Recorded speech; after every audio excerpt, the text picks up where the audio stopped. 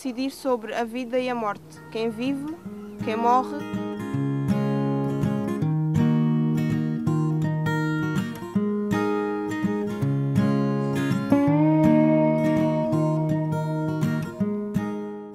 Uh, nem sempre as pessoas uh, se dão ao trabalho de garantir a segurança e o bem-estar do animal que levam dali, mas nós temos de confiar nas pessoas.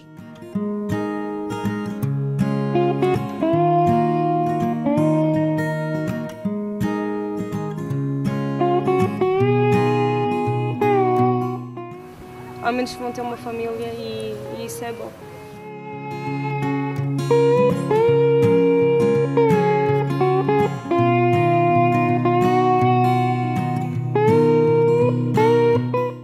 impressionante as personalidades que cada, cada cão tem e que começamos a ficar afeiçoados a eles.